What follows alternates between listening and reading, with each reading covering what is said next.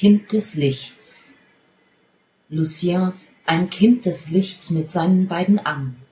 Bei diesen zwei Chaoten bleibt er nicht ohne Schrammen. Die Mutter tot, Großeltern auch, der Vater in der Ferne, wie es für ihn weitergeht, das wissen nur die Sterne. Er wächst auf in schwerer Zeit, doch umgibt ihn Licht. Sein Vater ist nur fern von ihm, weil er muss tun seine Pflicht. Die Liebe bleibt bei Lucien, auch wenn Papa Harry fort, während er sich vorbereitet auf den Mord am dunklen Lord. Denn geliebt wird dieses Kind nicht nur von seinem Vater, und dieser hat nicht selbst gewählt zu spüren diese Marter.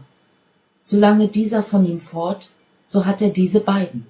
Für ihren Ziehsohn würden sie jede Qual erleiden.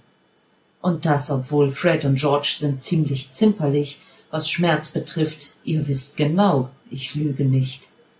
Selbst wenn Papa Harry stirbt, sollte es so sein, der junge Lucien hat Glück, er ist nicht allein.